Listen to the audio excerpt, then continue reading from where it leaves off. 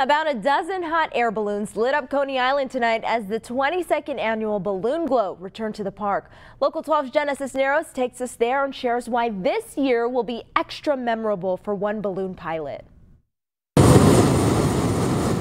It's my favorite event of the whole weekend of all the 4th of July stuff is Coney Island Balloon Glow. We bring mattresses.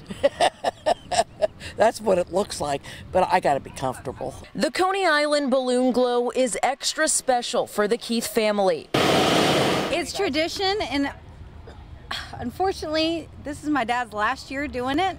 Dan Keith. I've been flying for 33 years now. The pilot behind the balloon is calling it a career. And it's been one of the great joys of my life. He's flown his balloon at Coney Island for more than a decade straight.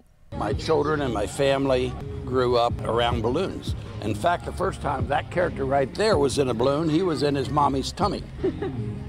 and as his grandkids will tell you, it's kind of like it's exhilarating. All the balloons are out and it look they like they all glow up and like you can see the tops of them and stuff through the trees. It's really cool. Illuminating the sky. It's like magic. You're going to be overwhelmed. It's an event like no other.